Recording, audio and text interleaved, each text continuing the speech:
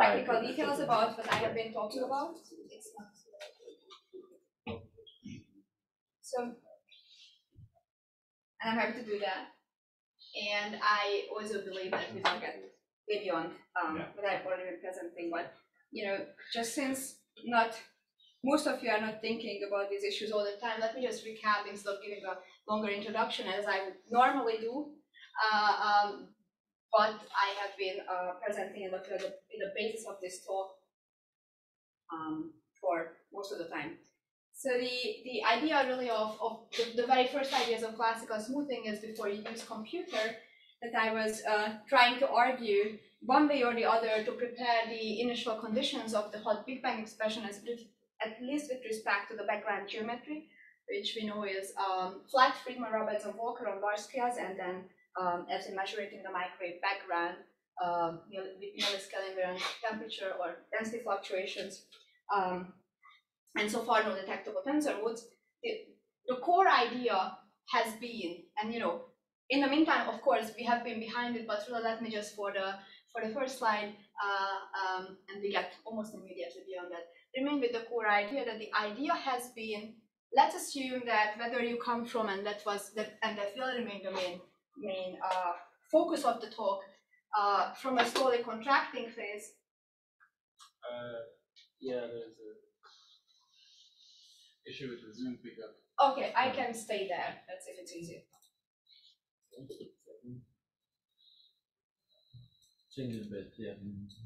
I can also stay closer to the mics, that's fine. Um,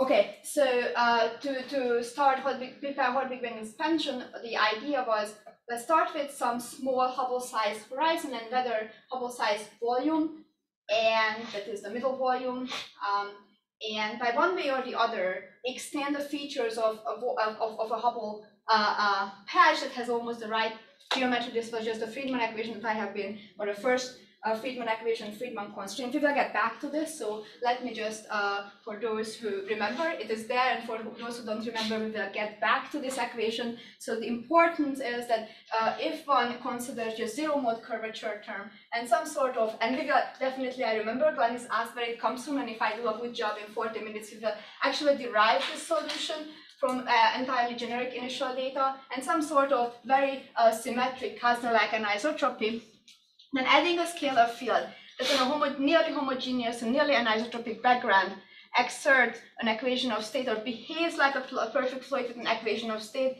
that relates to the three times the kinetic of the scalar times the total energy density of the scalar, then we know that in inflation we can extend the features of a nearly right kind of patch by keeping the Hubble volume nearly the same and uh, uh, making the scale factor the physical patch overblow, so to speak, over it. And in slow contraction, the the, uh, the mirror idea was that, you know, I was also arguing and will continue to argue that it's not exactly the picture that we end up with when once we look at the non-perturbative nonlinear physics, but the, but as it was introduced, the idea was let's do the same as as the idea was for inflation, but assume that the hot Big Bang expansion, expansion phase was preceded by a bounce that connected an early contracting phase, then instead of keeping the Hubble volume small, we shrink it on the physical volume, which remains nearly uh, um, uh, the same. So this is just for a recap. The only thing what I want for the rest of the talk is that uh, uh, remains stuck or remains in your head is in one way or the other, the idea has been, and again, just the original idea, and obviously what I won't be talking about, but I know, uh, and we talked about it and was individual since then with some of you. Uh, this already with an inflation, uh, uh, uh, um, different groups got beyond that, but the original idea was it's important to have the same one way or the other in this sense causal origin for for the patch that then will become the seed of our hot expanding universe. And just to finish the recap, what I have been arguing as well, that is not the hard problem. This is a good start, but this is not the hard problem of cosmic initial conditions. Uh, short of solving the quantum uh, Big Bang problem and knowing how you come out of the singularity, if the singularity indeed was the beginning of space and time or gave rise uh, in terms of a beginning to time, uh, uh, uh, classical space-time as we know it, uh, one way of looking at from a cosmologist point of view of the of the initial conditions problem is to say, well, let's start, let's start, let's see if we um, start with the full Einstein equations and make the stress energy be sourced by a scalar field which, as you can see, has a negative exponential potential. The negative exponential potential in the homogeneous and isotropic limit that you see on the right-hand side admits um, or, or, or, behaves indeed as a perfect fluid without, of course, scalar ever being a fluid. It's also important uh, uh, since it doesn't have a fluid equation but a Klein-Gordon equation. That's important in this case since um, those of you who keep it in mind uh, might uh, be able to very quickly calculate that this 1 over m square is exactly 2 times epsilon. So 2 times the equation of state, so the smaller uh, the characteristic mass scale associated with your scalar field is, the larger epsilon is, and this is exactly what we need to make this scalar field come to dominate on energy density, because as I was told that I can uh, write here, because the idea is that during a smoothing phase, the total energy density here in Planck units um, should be proportional to the scalar field energy density with the other contribution being subdominant. And here epsilon would be 1 over 2m. So as I argued, for an m being around 0.1 in Planck units, which is a reasonable number, you have an epsilon which is uh, 50. Now that's huge. And as you might also remember, and here I stop with, with, with, with the recap, uh, this was discovered relatively late for the reason because as long as you only considered, and this was within classical G or stress energy sources, uh, having always to be fluids, something like this would have been uh, a wrong or a bad or uh, assumption or a scary assumption, as can be, for example, read in Philip Thorne's thesis, who was uh, um, also then studying contracting universes because in um, if, if you consider as being, we know the proper 3 plus 1 definition of epsilon as being 1 plus uh, P, where P is the effective pressure of the stress energy component, rho is total energy density. Uh, epsilon greater than 3 would require that P over rho is greater than 1, and P over rho greater than 1 in the fluids would include uh, super uh, sonic evolution. So uh, waves that propagate at speeds higher than the uh, um, sound speed is not good. We don't like it. I am aware that some effective field theorists argue that might not be a problem, but for working with a canonical scale minimally coupled to gravity, of course, this doesn't, it's not a problem at all, since as you will see on the next page, uh, the scalar field, or next slide, equation is simply uh, v comma phi. So uh, um, the, from the wave equation, you can read off that um, the sound speed of a canonical scalar is always one. And this is the this is the reason I think why this idea has been discovered later that you can get to a smooth universe to to including a scalar field with a negative, relatively steep negative potential energy density. Because if you consider it, forget that it's a scalar field but a fluid, you think you might be in trouble. Now I should So say the, the, the phi dot squared yes. uh, being equal to 1 over m squared, that's just on the equation, on, on that equation of motion. Okay, so this is also something I will show you in my talk, but but but one can show already for sure already um, inflation. That's why it's nice to take as your test case a pure exponential. Um, that's an exact solution that the minus 2 h dot over 8 square or phi dot square over 8 square is exactly uh, 1 over m square if you have an exponential potential if you have another type of potential that actually I have, it should come out soon. Really, we are in the draft stage. Hopefully, in a week or two, with my former master's student Timo Kist, we have worked it out. But what are the forms of potential that source to such a such an equation of state? And it turns out it has to be at least exponential during the smoothing phase. And but one of the main results of my talk, obviously, I take it away that this is indeed. So what you want to ask is, is that solution does that solution has a large basin of attraction when you start from fairly generic initial data? And what I will argue in my talk, yes, it is. So what, what, what happens is that you are converging from non-homogeneous, non-isotropic, non-flat initial data towards a system. So that is really the one of the conclusions of the main part of my talk is towards a system that is described exactly similar by, by almost exactly the same equation of motion, and that's a stable fixed point, a fixed point solution of the equation. So that would be, that is what we want to show. Right now we haven't yet shown it, but that would be the idea. And then you indeed have even though you started very far away from that approximation, outside the perturbative regime of that approximation, you would have the equation of state converging indeed to this, this solution. And so I should mention that we also, this was a very fun project. We extended it because there were questions, uh, and it was a big tough decision whether I want to present that because there were questions, how do we generate perturbations and um, um, um, is, is it also the smoothing that's robust? We did this for the two field models exactly that I was a little bit talking about can generate nearly scale invariant fluctuations which get uh, um, extended over super Hubble scales. So this is, I will, for the purposes of this talk, stick to the negative exponential, but I want to mention that, and I would be happy if there are questions afterwards, of course, I'm always around to talk about it, that those were both, the one is in the making and the other one uh, is has been a really fun project with lots of details that I hope I can hint at. So what I want to do today is uh, to show you really the, as Ken asked me, and I'm allowed to do, the technicalities that it takes to get to the result that I was just mentioning, that this is a good description of where we go, but how we go there really can only be discovered uh, using full numerical GR. And those of you who were here in my Brambach talk also remember that I will show you, or I can expect that I will show that uh, um, it goes differently than one imagined. Now, the next two slides will be a little technical. I really love this part, but those of you who think it's a little too technical, or I appreciate that most of you are not working on GR every day, don't worry, the movies will be completely understandable without the technicalities. But I have also been em emphasizing this in my Brambach that what really takes the big bulk of all numerical relativity work is preparing the, the equations in a way that you can code them up. And so this has two meanings or two, two sides. First of all, you need a good kind of formulations of the field formulation of the field equation that for given initial data admits a unique solution, and the solution depends continuously on the initial data. Thankfully, within Einstein gravity, it has been proven that it's possible. And hopefully time permitting the next five to seven minutes in my talk, I will have time to show you why it's so difficult to go beyond GR.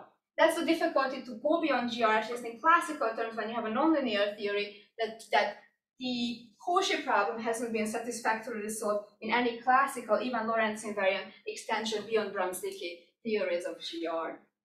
Sorry, but before the, the yes? technicality, so you go to a singularity, right? I mean, the, the end point of the evolution is a singularity. If I get to that. That's a very good point. Mm-hmm. Because so right now, and this is by the end I want to talk about that, right now I don't add anything that either in a quantum or classical we would, would solve the singularity. So what Massimo is pointing out, how does your code not know of the singularity? And that will be one part that we have to address.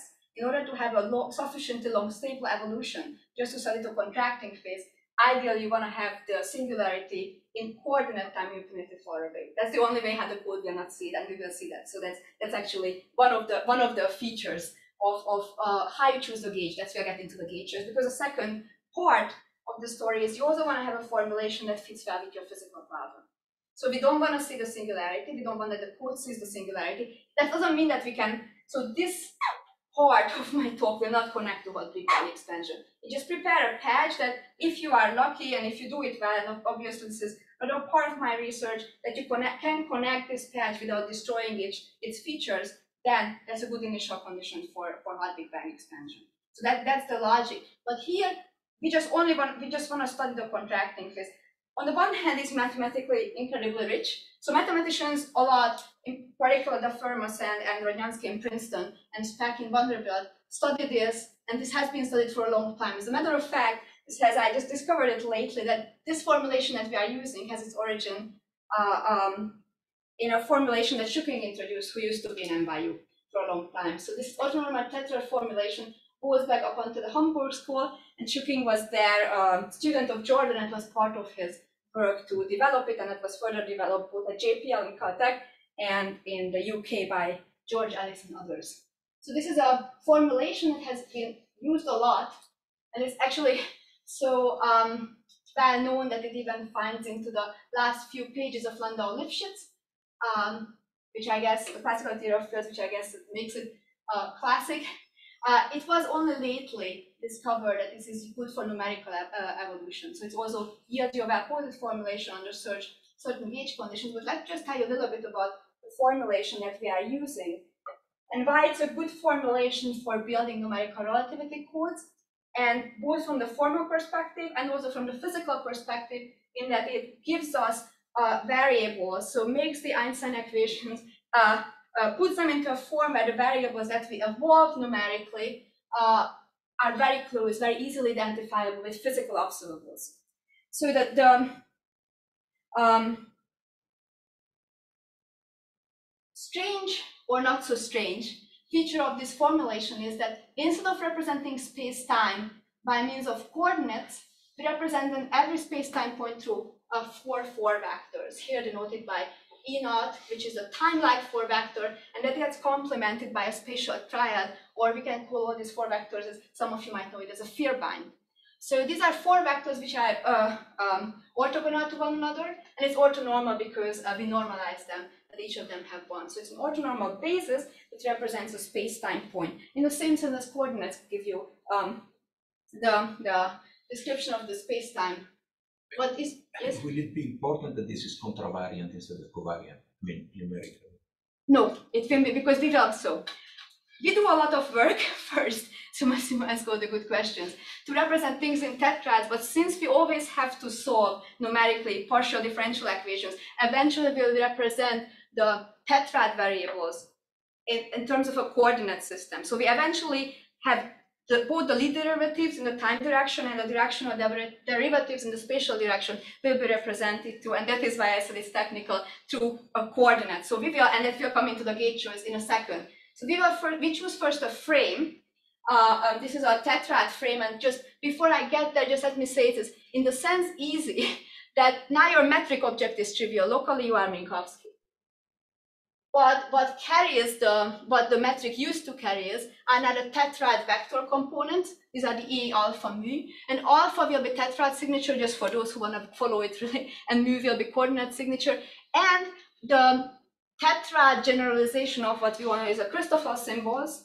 Uh, here you have a, a um, um, really what, what you want to know is how the tetrad, how a representation of a space-time point in terms of tetrad gets deformed, how the tetrad gets deformed when you move from one space-time form to another. So that's what the gamma alpha beta describe. Those of you who really are in the in uh, in the in the known and perhaps just because I'm not a quantum field theorist, obviously, but I know that uh, uh, some uh, um, use it that way. These are also can be rewritten.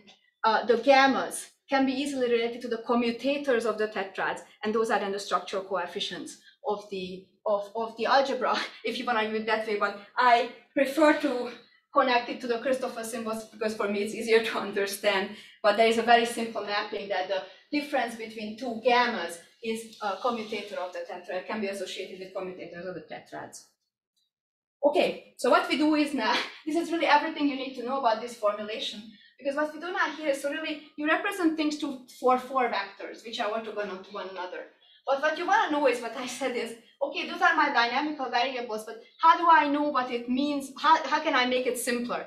And this comes, this is really one of the parts that goes back to Schücking and Ehlers, uh, that is just for those of you who are interested in the history of the subject. It's actually quite interesting. I, I uh, learned about it because it was not clear until we worked it out what the meaning of these variables is. That's how I tracked it back to Schücking, but it's kind of an interesting subject and has a really almost 80 years, hist- uh, 60 years history of how one got to this formulation.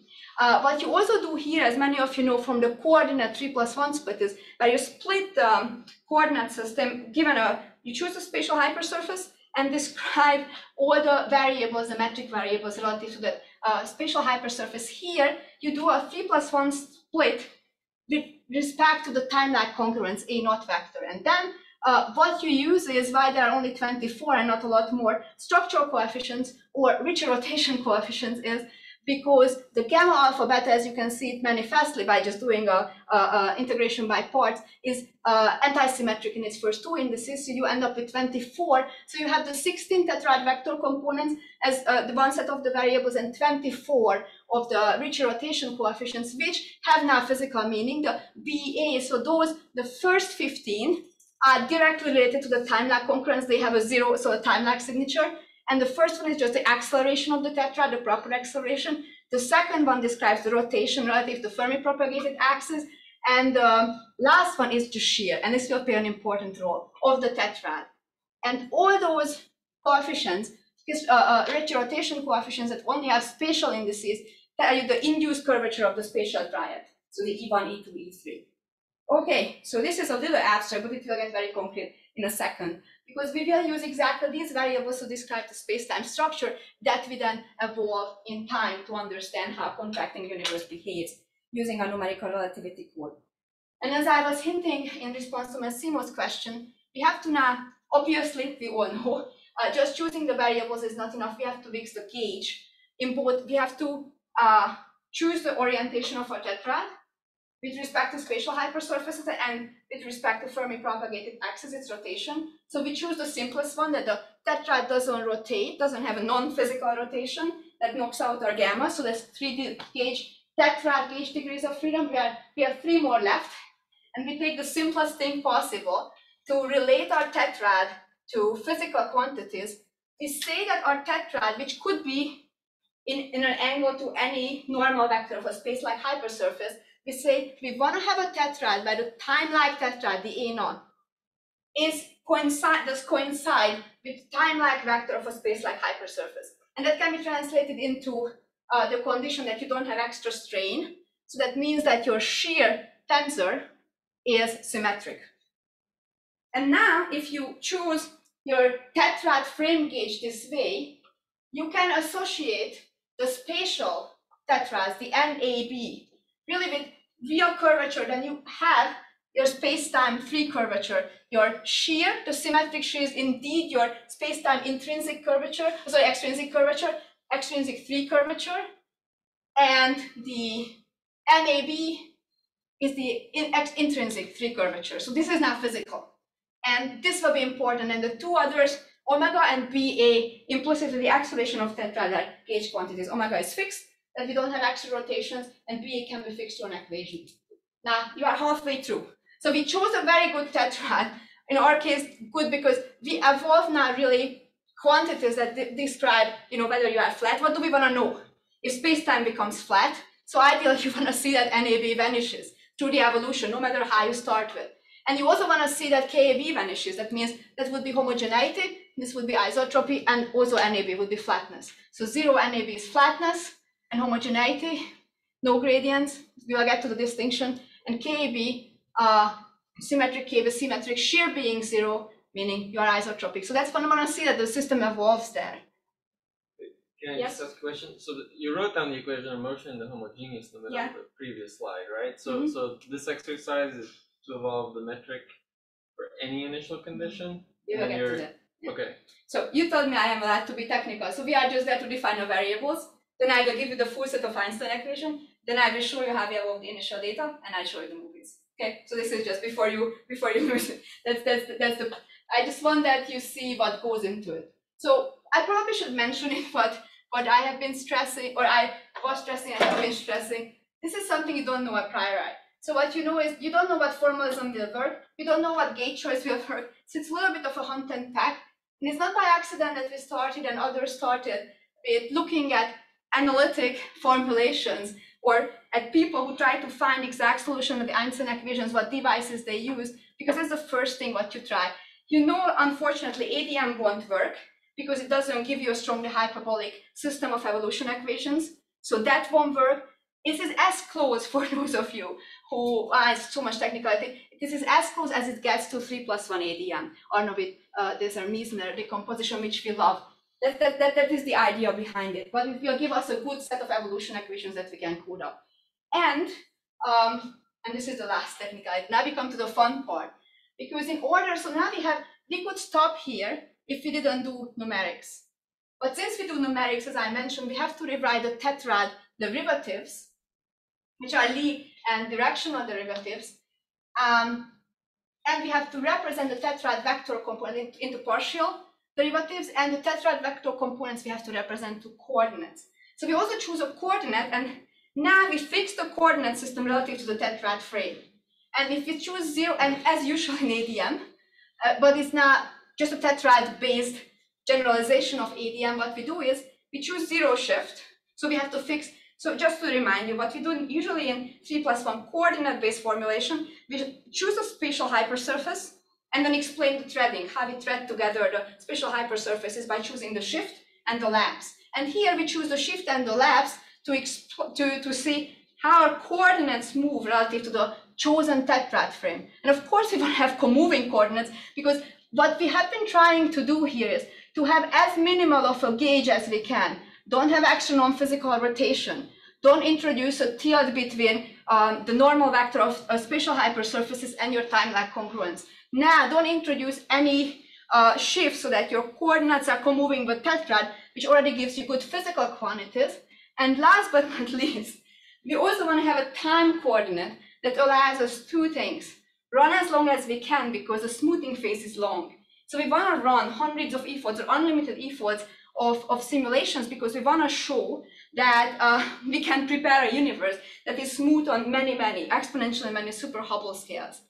And we don't want to see the singularity, which short of, and this is of course the long-term goal, adding a resolution to the code uh, is there. And the code would, due to the covariance of the theory, the Lorentz invariance of the theory, if we, if the singularity was finite coordinate time away, then the code would find it very quickly, so it would blow up. Yes? Yeah, so, but you said you will do numerics later, why does the coordinate choice important Well, this is important for two reasons. Not to find the singularity, so that the code doesn't find the singularity. Because you know what, what, what the numerical relativity code does is you give its initial data and you give it the evolution equation. And if there is a singularity in the equation, the code will very quickly uh, find it. So either blow up or you will see through code testing that it doesn't converge. And the second thing what you want to do is uh, you need coordinates also for the reason because you can only solve PDEs, you cannot solve tetrad equations. So you have to represent your tetrads in terms of coordinates. But what you also want to do is choose your time coordinates. This is something every one of you has encountered. If you have a phase where different dynamical quantities evolve at different rates, say the physical patch should evolve, should contract at a much slower rate. If this is a this is a good theory, then then this the Hubble patch, then you would encounter a stiffness issue. So you also want to have a time coordinate and a time slice that A allows to put the singularity infinitely far, and it turns out that one of the numerical relativists favorite slicing condition, by the way, that was also the condition uh, uh, Christodoulou and Klainerman so, so uh, proved the stability of Minkowski space. It's very similar to the system that we are using here. Choose constant mean curvature slicing. And that means that on a hypersurface, because now we have our uh, constant time hypersurfaces by our choice of a tetrad, constant time hypersurface, spatial hypersurfaces have constant mean curvature, meaning that the trace of the shear of the extrinsic, which, which I told you is associated with our free curvature, or the mean curvature here is constant. And just so again that you can connect to the simple homogeneous uh, uh, case, this is the Hubble radius in the homogeneous limit. The homogeneous and isotropic limit, the mean curvature is one third. Uh, the one third of the mean curvature is the Hubble radius. Uh, the absolute value, because in expanding, of course, it's positive. The contracting is the absolute value of the inverse Hubble parameter, which is the Hubble radius. So you, you don't do not care here that the coordinate system actually describes the maximal evolution of the uh, system because that coordinate system does not give generically the a maximal evolution. Doesn't even give it in say take anti de Sitter, right? If you Yeah. take a constant uh, curvature, you Yeah. just describe Yeah. a, Yeah, yeah, yeah. a Poincare patch, I mean, Yeah, path Poincare patch. You don't describe the complete space. No, I don't describe complete space. What I care about is right now that I describe a sufficiently long contracting phase. It's not complete. Yes, yes. So it's a good one.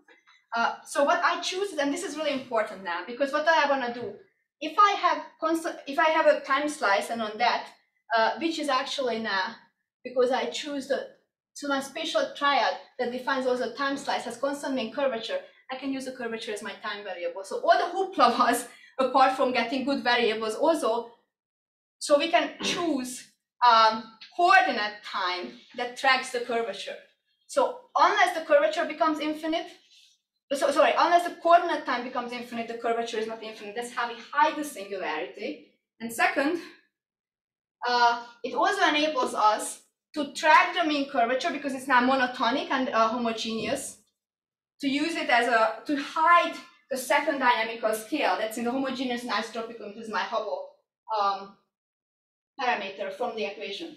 Okay, so obviously, uh, this is what, what, what is the second part. This is what I code up. So what you ask is why it's difficult, why it takes so long. Well, you can imagine how many bugs can be there apart from the, uh, having the good solvers. We usually the solvers are, just so tell you a little bit about it, they are already developed. There are really good solvers on the market. We use the ones that are this developed by Choptuik, his group. There are others out there because these are of course the same type of partial differential equations that are used in hydro, that are used in other uh, Einstein gravity contexts. So that's thankfully we don't have to work on that hard, but everything else is hard in the coding. And so these are the equations, and you can see we have a partial for tactile vector component for the shear anisotropy component, sigma alpha beta, the spatial curvature and alpha beta. This is a symmetric part. I just split out, and you can see here a box equation. Um, um, uh, it is just as last three the scalar field equations, but actually it's uh, three plus two, it's five because this is a scalar field gradient. Now, what I didn't mention, but obviously um, um, most of you have anyway seen that since my basic dynamical variables are first order, this is a many so GR is second order metric components, but because my dynamical variables are first order, this is a manifestly first order formalism. And my CMC slicing condition, so this is a hyperbolic system, it's a strongly hyperbolic system, and my gauge condition of constant mean curvature gave me the evolution equations for the Hubble normalized lapse. So you could ask me, okay, where is your lapse? You fix the shift zero, here is the lapse. And this is I use as a boundary condition for every new time step. So this is these are the equations that we are solving. Anna, just yes. So um, you pick your initial slice mm -hmm. of constant mean curvature. Yeah. Then you evolve, let's say, one time step. Yeah. Is it guaranteed that the new slice has constant mean curvature? Yeah. Yeah. The by this equation. I always solving it as a boundary condition for the next time step. That that so this equation, if you set KAA to be zero D, so the um what you have to do is write down the Einstein equation and get a second spatial derivative for the for the mean curvature.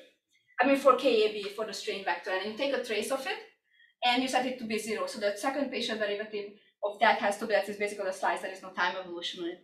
And what you get is an uh, elliptic uh, or uh, elliptic equation for the lapse, you can see this. And this we use as a boundary condition for always the next time step. So we solve this always, at, so we integrate. So we start with, this is the next slide. Uh, I will show how we choose initial data, and then I'm basically everything difficult is true. Um, we um, choose the initial data, go one time step, then we solve the elliptic equation and use it. Uh, um, we have a solution for all the dynamical variables, solve the elliptic equation, add it as the uh, initial condition for the next time step. So that's what we do, and this ensures, this enforces that my gauge condition is being propagated, but that I have constant curvature slicing. So uh, this is just um, to complete what we do. So we have a so-called free evolution scheme. We use that which means that we know that GR, of course, obeys a set of constraint equations. And those of you who uh, um, are um, either following or experts anyway, see the first one is the Hamiltonian constraint, the second one is the momentum constraint. And the others are just simple constraints for the tetrad variables, which we can write in as identities by using the commutators of the tetrads. The fifth one, for example, you can see easier. So the fourth one is simply just a definition of SA as the scalar field gradient. So we have also the scalar field equation in the manifestly first order uh, formulation. What we do is why it's a free scheme, what do we use this for? Well, in a second, and we use the constraint equation to set the initial data. And we also use the constraint equation for code testing. So it's a free evolution scheme because we don't. So if we are right, and if the if the system is well posed, then it has to behave exactly as GR behaves, once you have constraints satisfying initial data, the field equations have to propagate the constraint. So we use that, we check the evolution of the uh, constraint equations and uh, use it for uh, verifying code convergence and stability. So we never evolve the constraint, we use them both to set the initial data and to check that our code converges. Okay. So in, in um, some of the initial yeah. calculations, like the Pretorius, etc., mm -hmm the problem arose precisely because of that, because the evolution of the exactly. initial constraint was exactly. very unstable. Yeah. And one way to solve that was to damping, yeah, to damp. yeah. But yeah. here you don't use any damping. It's right? exactly interesting. So I just again, because it's a wonderful topic, cosmology we don't get to use it that much so far. So what what what Massimo is talking about again, because um, uh, it's really such an important issue. Um, so you can have, and I will show you, the issue with but Frans solved uh, um, with, with, numerically modeling two black hole mergers was not, not to have a positive formulation, but it looked like that even though your formulation is fine, you have constraint satisfying initial data, the code kept going up.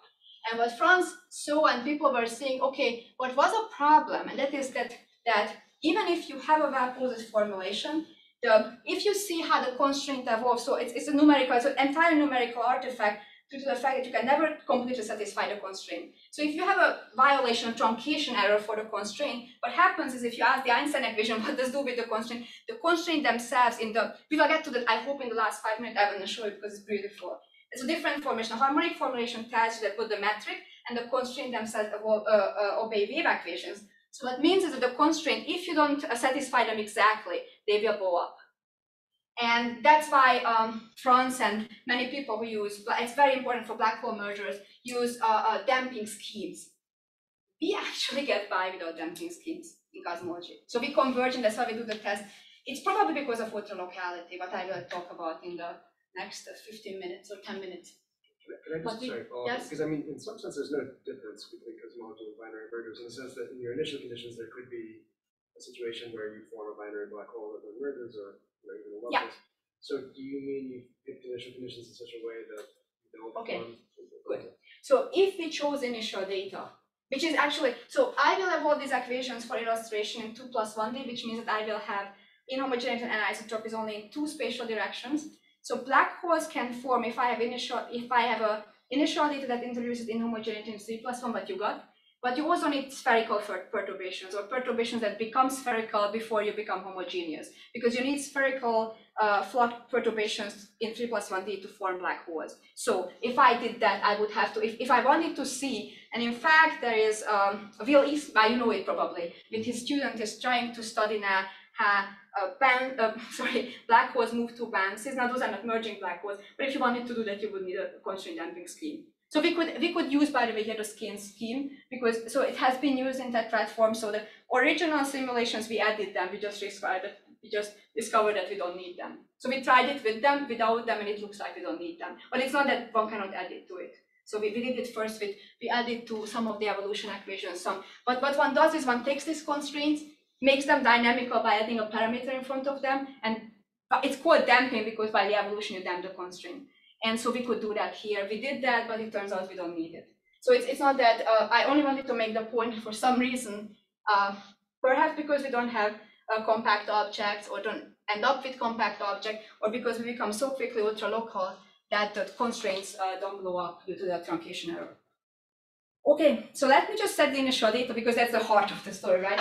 So all the hard work was to not let let us uh, uh, you know play around with and choose the widest variety of initial data and see if we end up with the universe as we see it. And that's what the movies will be about. And just let me just go through it. The only constraint you have on the initial data is constraint satisfaction. If you, the other danger can be if you don't satisfy the constraint. We know the field equations propagate constraint violating initial data, but then you won't have energy or momentum conservation. You also blow up, but for physical reasons. So that's not a good reason. So that's the only. And now you have to do a little bit of work again. And okay, I don't want to spend too much time on this because it's kind of a bookkeeping exercise again. Um, and this has been thankfully also worked out a long time ago by York and then Choquet Bruhat York. So there are a lot of good mathematicians who have, uh, how do you choose initial data that's sufficiently simple to choose? You can have sufficient freedom, you are constraint satisfying. At the same time, you also are non-linearly unstable. So we use exactly the same method as people use for black hole simulations, for example, for Kerr black holes. We take what's called the York's conformal method or the York method and choose a conformally flat metric where psi is a conformal factor. Now you might shout out, oh, didn't you say you have sufficiently generic initial data? Uh, we will get to that. And we freely choose the quantities that we think are worse during contraction, the scalar fields, initial distribution, its velocity, and the shears vacuum part. Momentum constraint fixes the, uh, the momentum constraint fixes the shears contribution to the, um, that's, that is sourced by the scalar field and its velocity on the initial slice. And so uh, we use a Hamiltonian constraint, which then yields us an elliptic equation for the conformal factor to complete our set of initial data. What's important here? Well, first of all, you have already a lot of freedom. This is the only real constraint that some of you might worry about. Don't you assume flatness? And um, if I didn't choose, so what's important again to remember about relativity, it's nonlinear. It's a nonlinear coupled set of PDEs. So just because you choose conformally flat initial data, you can check if you chose sufficiently generic initial data, generic again in physics sense, not mathematics sense, that you excite very quickly within one or two time steps all the curvature degrees of freedom. And that's exactly what's happening. So while the constraints are propagated, we choose initial data that satisfy the constraints so that the field equations propagate them, conformal flatness is very quickly broken. So that's not propagated. This is really just a device to ensure uh, constraint satisfaction and at the same time be uh, able to choose uh, uh, um, sufficiently freely uh, um, the, the variables that you want to choose. And I should mention probably here because it's very neat what comes out. So what, what is nice about the, the York method is if you conformally rescale the metric in almost all configuration, the momentum constraint and the Hamiltonian constraint decouple, and momentum constraint becomes an equation for the shear and the velocity. That's why you can choose the vacuum part of the shear entirely free and that's why you can choose these two contributions free. That's, that's thanks to the York method. Okay, now end of the technologies. And I just want to show you the reason why I show you all the technicalities, A, because I was allowed to do it. Uh, and second, because the simulations are, are very simple. So what, what you end up is you ask if I only showed you the movies, and often I only have time to show that. If I only showed you the movies, then you would think this is a mathematical simulation that you can do in one afternoon. Why? Well, because what our result is what we go for looks simple. And it looks as simple that after I explain you what the movie is about, you will actually wonder where the movie is going. It will be over before you take a look, but I will slow it afterward. So, but, but, but I, of course, we solve the field equations uh, given the initial data, and we put the universe into a box that the box size is, two, we have periodic boundary conditions. So if I had shown you the function of part of uh, form of the shear, the, and that's what also is reflected here uh, to the to the to the forms, the shear, the the scalar field velocity q, conformally scaled and phi, then you would see sinusoidal form. That's due to the fact that the initial data not just has to satisfy the constraint, but of course has to satisfy the boundary conditions. And so you have here a box which has the initial size, so the x and the y-axis are both 2 pi times h dot minus 1. So times the, the Hubble radius times 2 pi, um, the initial Hubble radius, and that will be fixed. So you see the entire space-time uh, uh, shrinking down. You will also not see much scale in there, because remember, or if you do things right, uh, here the representative simulation usually involves an m of around 0.1. So it's then the scale factor hardly evolves. So typically, in a homogeneous limit, if you take this m, then uh, by a shrinks down to, so a goes to 1 half a naught, uh, then the change, because it's e to the 50, uh, um, I showed it actually to you in a brown, but we don't have to remember, obviously, the Hubble radius goes to, I mean, shrinks by h minus 1 over h naught minus 1 is 2 to the 50. It's huge. It's really huge. So you cannot see much physical scales happening, and you cannot see the Hubble scale evolving because that's not this. Hubble scale is here, that's a time parameter. So the time is following its real number of equals. And what you see here is, of course, the z-axis going from 0 to, also negative, as you see, between 1 and minus 1. These are the um, density parameters. Astronomers know it as the big omegas. Uh, they are representing the normalized Hubble normalized contribution of the shear green, scalar field energy density, and the spatial curvature. Those were the NABs, those were the sigma ABs, and these are the field components, so total energy density. Now I let it run, it's done. So this is almost always what we see. A simulation runs, we run 300, 400 default, doesn't really matter, but you see very, very quickly, um, space-time becomes homogenized and we will get to that too, in a very funny way. And you are dominated very quickly by homogeneous and isotropic contribution of the scalar field, no curvature, no spatial curvature, no gradients, no shear. Let's slow it down a little bit. It's really happening order one e4. So it's a 25 times slowdown. You can see the time is hardly moving. It's negative just because we run to, so it's e to the t to the minus infinity, but this is just a technicality. I should also mention, you know that you contract because the Hubble radius is growing. If you were expand, uh, the, if you were expanding, uh, sorry, Hubble radius is shrinking, but the Hubble parameter is growing. uh, because the absolute value of h has to, of course, in order to approach a singularity, that is the three curvature. Was this damping known in linear theory? Uh, which damping? Uh, you see something becoming smooth. Yeah. So then you can, uh, I would assume, expand around perfect smoothness to first order and see whether or not linear evolution. That's brilliant. That's what I do next. Ah, okay. That's what I do next. I will close with it. I really hope that I can do. Let me show you two more things. That's one part of that. I will, uh, because that's really the part of it, what was known and what was not known. So the second part is mathematics. But what I want to show you, I showed you something that's pretty. Before we did our simulations, and this was what people believe the contracting universe does. This is just in 1D. This is messy. This is what's called a, a Kasner it's a vacuum universe, but it would behave in the same way. I will get to that too. Uh, it would behave like a vacuum, and it's, it's, it's a Mixmaster chaos. Those of you might have known it. It's a it's a universe that is dominated by anisotropy, and it's bumping from one anisotropy point to another, and it's everything but but what you need. And it's really the scalar field. And you know, the next five to seven minutes, I will explain why the scalar field with a negative exponential, steepening of negative potential makes such a difference in all cases, like whether you look at Kip Thorne's example, whether you look at BKL, so Belinsky, Khalatnikov, Lifshitz, that's what they taught the result is. And that's why it would be a really, really bad idea to smooth the universe to contraction, unless you have a right kind of scalar. Okay, so the real important part of the talk is what I spent a lot of time during the brand bag stressing how surprising it is.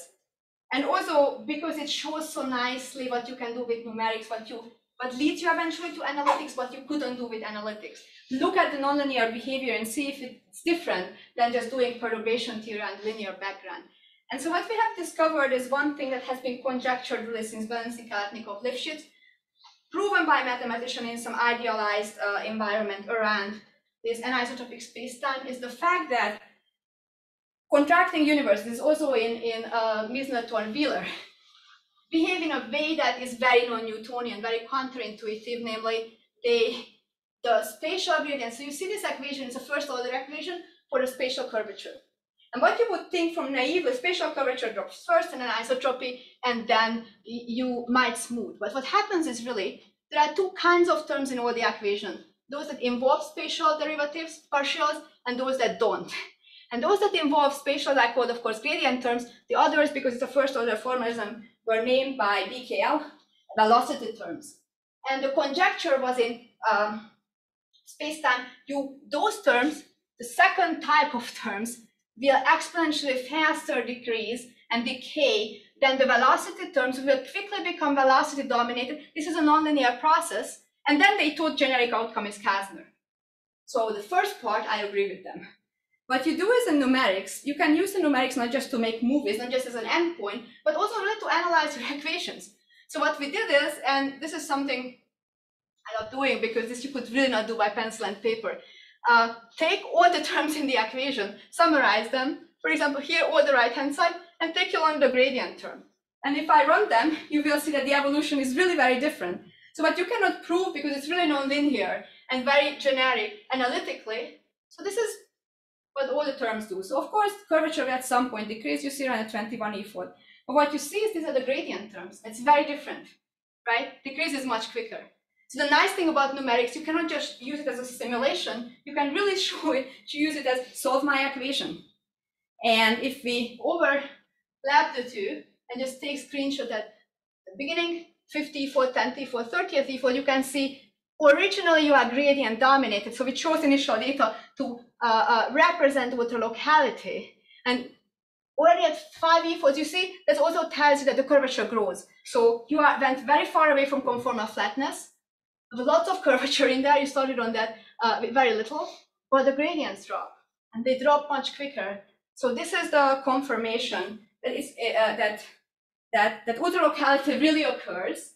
You split up space-time into different points. Now you can use a numeric to represent in different ways, and you just pick points, and this would be what anisotropy dominated. We'll get to it, what it is, and then you can see each point in this circle uh, they represent in a so-called, it's a orbit space, it's just a different parametrization of anisotropies in the ultralocal limit, but it's non-linear. So what you do is you start with them and this tells you in what E for the color coding, you get to the middle, which is FRW. And different points, so what you can see is a lot of these still same simulation, but different points of the simulation, you see a few things. All points go to the same middle, but they encounter different trajectories.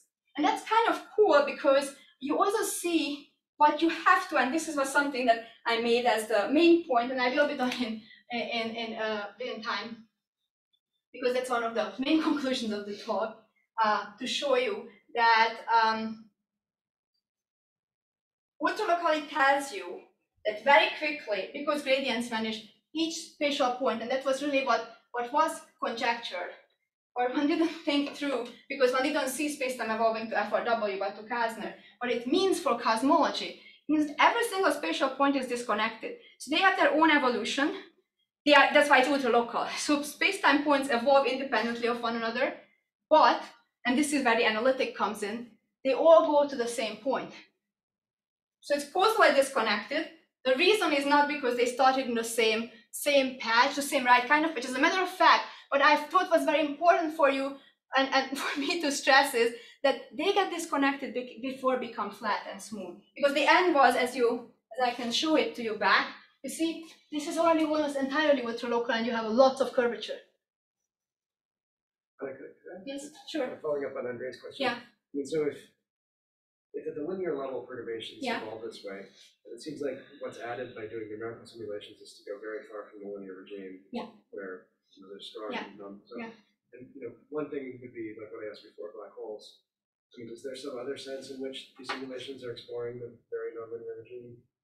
Well, um, this is one sense. The other sense, we, um, the initial data. I mean, checking the initial data, but if you want to ask I think you have two questions. What have I already done and what can I do with the simulations? So I could do what you asked. I could add in some black holes and start to track them. So that could, I haven't yet done that. So that's one of the things that I wanted to say when I uh, close it. There's a lot more to be done if one wants to do that. So one can do that. One can check how bands goes through, I'm sorry, I always confuse black hole goes through a bands, how black hole leaves or maybe gravitational wave merges, what happens to gravitational wave fluctuations, why contract can they re-enter. So you can do a lot of things. What you couldn't do, I haven't yet done everything. It's really just the results of one and a half to two years of what I'm showing here. So one, there's a lot more potential to do versus what already has been done. I'm really reporting here the most exciting results. Okay, so um, just what I wanted to point out is, and what you can also discover, and I will get to that, that the analytic calculation was not, okay, let me just skip it and just to get to the main point. What you can also do is, uh, and then I get back to what Matt asked, and also what Andre asked, um, you can also compare, of course, two different type of initiality. Now, these are two different simulations. The point that I've been showing you is different points of the same simulation, and then you can use the evolution. I really let me just keep it because it's a lot of technicalities, and I would waste a lot of time to say. When I'm saying we call it term by term, so not just the evolve it, plot the gradient terms, and conclude some. So this is partly an answer I. Uh, uh, this is, has been the focus of it's very nonlinear how you drop the gradients because what we do here is we already assume we are ultralocal when you do it analytically. Now, of course, what comes next is that's why I was uh, again just as mathematicians don't show by of course I'm far away from being a mathematician don't show proofs I just want to show you that once you numerically by doing really hundreds of simulations and conclude that as far as by numerical experiments you can conclude genericity you are generically ultralocal and you can identify the initial data that goes to FRW versus not then you can go and say okay can I understand by some solutions? I'm almost true, uh, uh, some solutions go to FRW or most solution and some not. In the ultralocal limit, of course, I can do analytics. So I take the, let me just quickly walk you through what we have done. And I have one more slide. Uh, and unfortunately, I said time permitting, I couldn't get to the rest, which is more interesting what I'm working on now, but um, that's worth emphasizing. So what we do is here, we want to ask, okay, if you go to the ultralocal system, can you prove given that you have a negative, what are the fixed point solutions of the system? You, the ultralocal system will have a finite set of fixed points or stationary points, and you can study them analytically, which on the ultralocal limit, which of the fixed points are stable and unstable. Now, we identified all the fixed points, and I should say that these fixed points are completely irrelevant because they are only possible for positive potentials. And what's happening is we found two stable fixed points. Kasner-like, where you have aniso- very special anisotropy. So what was the neat thing about the argument is that you have this humongous system. By numerics, you can drop all the gradients, but what also tells the momentum constraint becomes very neat. Now you can see that the tensors that describe the spatial curvature and the anisotropic commute. And then by, because the, just using the fact it's a first order system and eigenvectors of at one time and remain eigenvectors at all times, you can really by a neat three line proof show or four lines that um, um, you can reduce the essential dynamics of dynamics of the eigenvalues. You then solve, you find the fixed points of the eigenvalue system, and you can by now linearize, linearizing the, the, the, the equations show that these are the two fixed points that are stable. One is this Kasner type where two of the, where the shear eigenvalues are non-zero, and it's flat so that all the spatial curvature eigenvalues are zero. And there is a there the potential doesn't play a role. So that's the funny simulation that I've shown you. And there is another solution which is FRW. And now you can show the simulation one more and explore all the initial data that leads to effort. Well, all is always impossible, but use sufficiently many simulation that you can uh, conclude this, that the regime that it turns out that epsilon, so this parameter, which is the effective mass scale of the potential, and the initial average velocity. So we have big local velocities, some of them go up here, some of them are here, but what matters, it looks like the two parameters, how steep your potential is, and what is the average velocity. And it turns out that most of the initial data, um, so we are here only at epsilon 10, but typical epsilons are 50 and higher. So really, you would have to go here to have typical initial data, but what you can identify is you want to know it's where it's not smooth. The second thing that you can show is, using again the same argument, this is the last movie I can show to close, um, that there is another fixed point. This is this Kasner-like fixed point, it's very special. And this is all the work to answer Glennys's question, where is the constant coming from, in the Friedmann equation, the sigma square, if you remember, where uh, you had this 3a square, and here was this term. So this sigma square is exactly omega s, so the Hubble normalized. What you find is that the eigenvalue, so this is a fixed point where n, the Hubble normalized lapse exactly one third. So sigma is constant. There are no off diagonal terms, and the shear is uh, contribution is constant. And this a to the six comes just from the fact that you have to translate the first order quantity, which is a first order Christoffel symbol, into um, zeroth order quantity for biometric variable. Other than that, that's the origin of the sigma square. And what you can see is now you can study, and it was a separate study, and this is also something that you can only do non-linearly. How generic was that original equation? Do you first really go to Kasner and then to FRW? And of course, the earlier simulation already shown, no, not really, because you are become ultra local, but the curvature is important. The zero mode curvature exists, NABs are more important without partial than you thought. And what we did is, and I want to close with that, unfortunately, I really didn't have time for the nice part. Nice part about the how we do the how we are what we are working on other bands, but this is super nice. So let me close with this. That what we also studied is um, start as close as possible to Kasner. So this configuration, and ask how far do you have to go for Kasner? How much do you have to poke the system that you don't remain there? And that would tell you, that would be a hint, and this is something that got mathematicians actually quite interested. Uh, um, so I hope that we will prove something about it. So there was this argument that ultralocality is generic, and mathematicians like Dafermos, Vatayo, Rodnianski, and Speck that probably Kasner is non-generic. And what we have seen here at the very least, when you have a negative scale and start close to Kasner, so this is Kasner. This looks like Kasner, not exactly Kasner, it looks like Kasner, right? Shear dominates, it's homogeneous shear. You have here some spatial curvature and the scalar field is almost not there. And you would just think it's just bumping from one Kasner point to another. 60, 70 foot and bump. And I can tell you what does the bump. It's actually the NAB, so the spatial curvature. So what turns out is that Kasner is, or it's just a little poking, it's really below its perturbative level, so we can understand that we have done that. It's, it's really at a perturbative level poking. And what happens is because earlier people forgot both the negative potential, uh, the, the scalar with the negative exponential, and left off often these the spatial curvature terms because they assume we go first to Kasner. They didn't study what happens if you poke Kasner a little bit. And what happens is the tiny little spatial curvature term, tiny little off diagonal terms of the shear. So there's a lot of ways, and we tested what lead you away from Kasner. So what we have concluded from that, and this is a conjecture, but it's well uh, uh, uh, supported by numerical experiment, that the, the second fixed point has a tiny basin of attraction.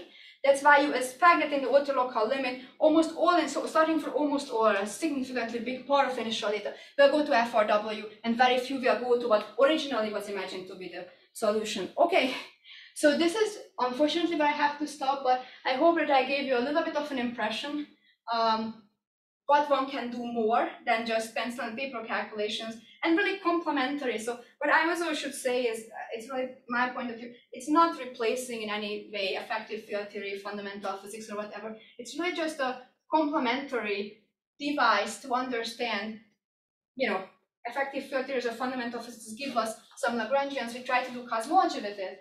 And what do we miss if we don't look at the nonlinear structure? And I believe that here in this context, you already see that you miss a lot.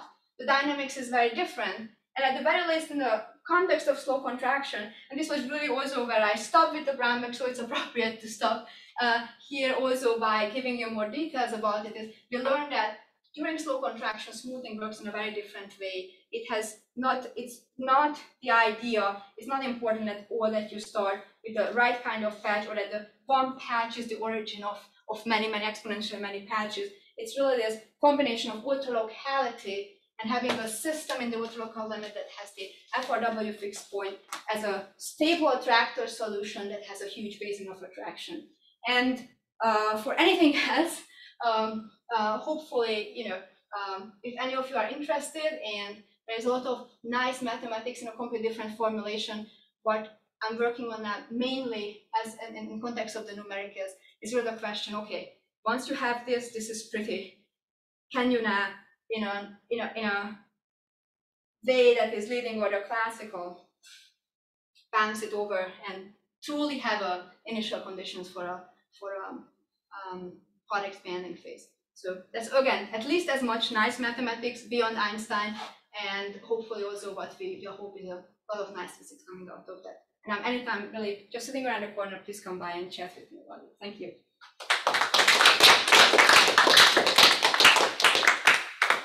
Can I ask one, one more question? Yeah. Um, so, so inflation, uh, in sort of the analogous thing by the equation, if you have a, a black hole that forms early Yeah. on, it has some fixed physical size, Mhm. and then the universe is growing exponentially, the Hubble length is fixed. Mm-hmm.